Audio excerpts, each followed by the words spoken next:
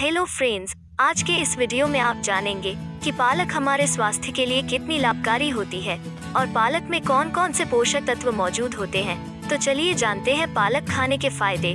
Friends, पालक एक ऐसी सब्ज़ी होती है जो स्वास्थ्य की दृष्टि से बेहद ही लाभकारी होती है। इसमें ऐसे कई लाभकारी तत्व मौजूद होते हैं, जो आपकी हेल्थ के लिए काफ़ी फ़ायदेमंद होते हैं, जिसे लगभग हर कोई खाना पसंद करता है। और आपको बता दे कि पालक का उपयोग एक औषधि की तरह भी किया जाता है। जिसके सेवन से आप कई तरह की बीमारियों से भी दूर रह सकते हैं जिसे हिंदी में पालक तथा इंग्लिश में स्पिनाच कहते हैं। अलग अलग भाषाओं में इसे अलग अलग नामों से जाना जाता है जिसका वैज्ञानिक नाम स्पिनाचर ओलरेशा होता है।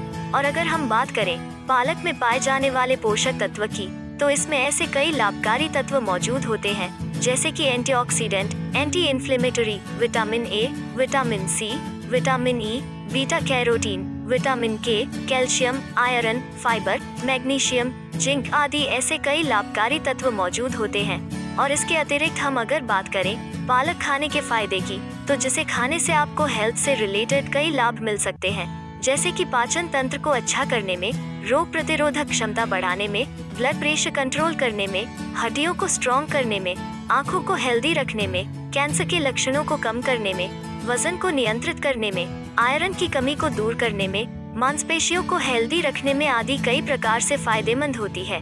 तो उम्मीद करते हैं कि आपको पालक से जुड़ी यह छोटी सी इन्फॉर्मेशन पसंद आई होगी। ऐसे ही अच्छे वीडियोस आगे भी देखने के लिए बेल वाली घंटी के साथ ज़रूर सब्सक्राइब करें, जिससे आपको वीडियोस का नोटिफिकेशन सबसे पहले मिले।